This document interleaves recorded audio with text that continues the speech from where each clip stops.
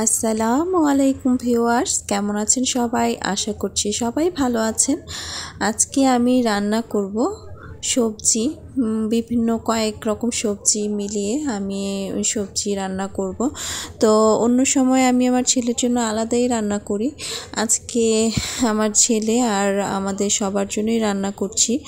যার কারণে হচ্ছে একটু সাদা মাটা করেই রান্না করব, তেমন একটা কষাবো না আর মশলাপাতিও একটু কম দিব। তো আমি কি কি সবজি নিয়েছি প্রথমে তা দেখিয়ে নিচ্ছি।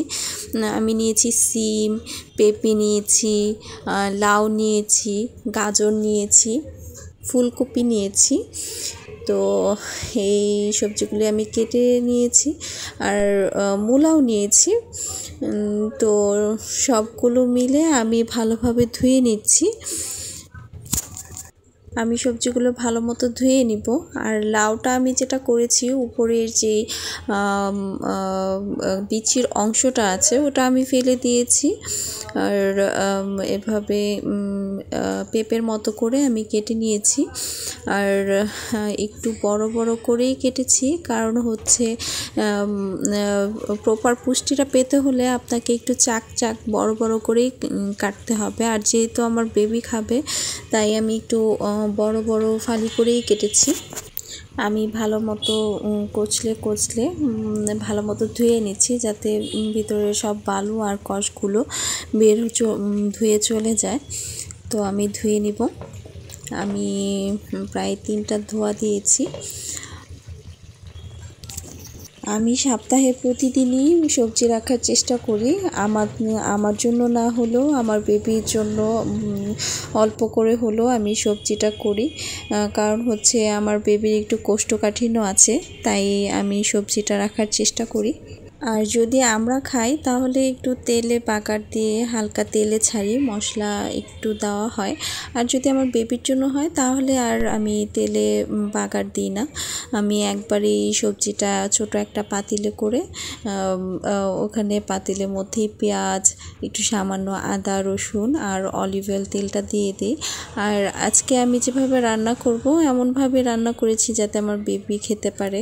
আর আমার বেবিটা যখন রান্না করি তখনও সাথে দুটি কাঁচামরিচ দিয়ে দিই। কারণ কাঁচামরিচে প্রচুর পরিমাণ ভিটামিন সি। আর খাওয়ার সময় আমি কাঁচামরিচটা দিই না। কাঁচামরিচটা সরিয়ে ফেলি। আমার বেবির কোষ্ঠকাঠিন্যের জন্য সবসময়ই সবজিটা রাখা হয়। তো আমি সবজিটা ভালো মতো ধুয়ে নিব। আমি একটু বেশি করেই ধুচ্ছি, কারণ হচ্ছে ফরমালিনটা যদি থাকে তাহলে ফরমালিনটা চলে যাবে, কোনো মেডিসিন, কেমিক্যাল থাকলে সেটাও চলে যাবে। তো আমি বারবার কচলিয়ে কচলিয়ে ধুয়ে নিচ্ছি। আর আমার সাথেই থাকবেন, পাশেই থাকবেন, দেখতে থাকুন। আমার চ্যানেলটি অবশ্যই সাবস্ক্রাইব করবেন। তো আমি চুলার মধ্যে রান্নাটা এখনই বসিয়ে দেব। তো আমি দিয়ে দিয়েছি পেঁয়াজ আর আদা আর রসুন। দিয়ে আমি সরিষার তেল দিয়ে আজকে রান্না করব। তো আমি সরিষার তেলটা দিয়ে দিয়েছি। সরিষার তেলটা দিলাম কারণ হচ্ছে আমরা বড়রা যারা আছি তারা খাব। আর আমার বেবির জন্য শুধুই যখন রান্না করি তখন হচ্ছে অলিভ অয়েল তেলটাই ব্যবহার করি। তো আমি ভালোভাবে নেড়ে দিব। সরিষার তেলটা আমার মতে সরিষার তেলটা সয়াবিন তেলের চেয়েও ভালো। তো আমি ভালো মতো মশলাটা নেড়ে চেড়ে সবজিগুলি দিয়ে দিয়েছি। তো আমি ভালোভাবে সবজিগুলো নেড়ে চেড়ে মশলার সাথে মিশিয়ে নিব। তো আমি মশলার সাথে ভালো মতো মিশিয়ে নেড়ে চেড়ে নিচ্ছি। আর সবজিটা খাওয়া শরীরের পক্ষে খুবই ভালো। আপনারা চেষ্টা করবেন সপ্তাহে অন্তত দুই থেকে তিন দিন। আর দুই থেকে তিন দিন না হলেও সপ্তাহে একদিন খাওয়ার চেষ্টা করবেন। আর আমার বেবির জন্য প্রতিদিন সবজির মধ্যে পেঁপেটা তো মাস্ট থাকে, কারণ পেঁপে হচ্ছে কোষ্ঠকাঠিন্য যাদের আছে, তারা পেঁপে খেতে পারেন। পেঁপেটা খেলে কোষ্ঠকাঠিন্য অনেকটাই দূর হয়।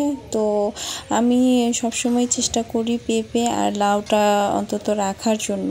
আর অন্যান্য সবজিগুলা যদি থাকে তখন দিই। বাট লাউ আর পেঁপে এই দুইটা ম্যান্ডেটরি থাকে।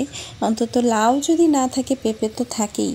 আর গাজরটা প্রায়ই রাখা হয় আমার বেবির জন্য, কারণ ডাক্তার বলে যে কালারফুল সবজি খাওয়াটা ভালো। আমি সব কালার মিলিয়েই রান্না করার চেষ্টা করি। আর পাশাপাশি আমার বেবিকে শাক একটা না একটা শাক দিই, কারণ ওর কোষ্ঠকাঠিন্যটা আমার খুব ভয় লাগে। ও তাই আমি চেষ্টা করি আমার বেবির জন্য বিভিন্ন রকম কয়েক প্রকার সবজি দিয়ে একটি সবজি তৈরি করার জন্য। অন্তত সপ্তাহে পাঁচ দিন তো মাস্ট থাকি, আর যেদিন পারি না সেদিন হচ্ছে ভাতটাকে খুবই নরম করে হচ্ছে খাওয়াই। আজকে আমি সবজিটাকে আমার নিজের মনের মতো করে রান্না করেছি।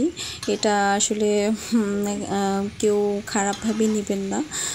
তো আমি ভালোভাবে নেড়ে চেড়ে মশলাটা মিশিয়ে হচ্ছে একটু সামান্য হালকা কষিয়ে নেব। তারপরে হচ্ছে আমি, কিছু শিং মাছ আলাদা করে ভেজে নিয়েছি।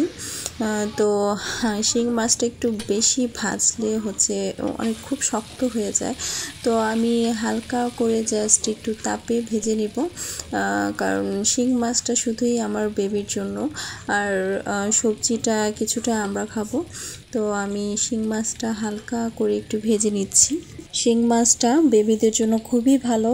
শিং মাছ হচ্ছে শরীরের রক্ত বাড়ায়, হিমোগ্লোবিন বাড়াতে সাহায্য করে। তাই আমি শিং মাছটাই বেশি খাওয়াই আমার বেবিকে।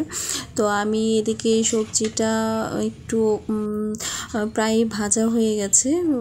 আমি ভালোভাবে নেড়ে চেড়ে একটু সিদ্ধ করে নিয়েছি। তো আমি মাছটা সবজির মধ্যে দিয়ে দেব। তো আমার শিং মাছটা ভাজা হয়ে গেছে এদিক দিয়ে। আমার সবজিটাও প্রায় একটু কষানো হয়ে গেছে। আমি, আমার যে শিং মাছটা আছে, এটা দিয়ে আমি ঝোল দিয়ে দিব। আমার সবজিটা হচ্ছে হালকা ভেজেছি, তেমন একটা কষাই নিয়ে আগেই তো বলেছি আপনাদের সাথে যে আমি একটু সাদামাটা করে রান্না করব। আর আমি আমি নিজের মতো করে রান্না করেছি। প্লিজ কেউ ব্যাড কমেন্টস করবেন না। তো আমি এখানে ঝোল দিয়ে দিয়েছি আর হচ্ছে শিং মাছটা দিয়ে দিয়েছি। তো এই হলো আমার সবজিটা। রান্না করা হয়ে গেছে। তো ভিউয়ার্স, ভালো থাকবেন, সুস্থ থাকবেন, আমাদের জন্য দোয়া করবেন, আপনাদের জন্য দোয়া রইল। তো আজকে এ পর্যন্তই। আমার পাশেই থাকবেন। আমার চ্যানেলটি অবশ্যই সাবস্ক্রাইব করবেন। সেই পর্যন্ত আল্লাহ হাফিজ।